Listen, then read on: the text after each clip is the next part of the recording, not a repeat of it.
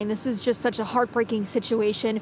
Rescue workers recovered the bodies of a 35 year old woman and an 11 year old boy here at Grace Lord Park at the pond behind the gazebo behind me. This happened around 5:30 last night. Police received a 911 call from a passerby who saw a 6 year old boy crying out for his mother near the pond. Officers reportedly found the child near the bank of the Rockaway River and followed footprints that led into the the pond, and that is where they saw the two bodies in the water. Both were recovered and then pronounced dead about an hour after that 911 call came in.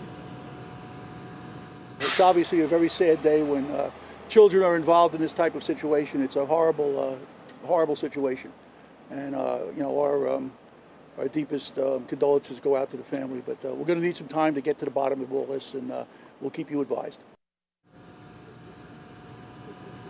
And police have not yet released the name of either of the two victims or the relationship between the woman and the two children. The Morris County Prosecutor's Office is now handling the case. Reporting live in Boonton, New Jersey, I'm Katie Corrado, Pix 11 News.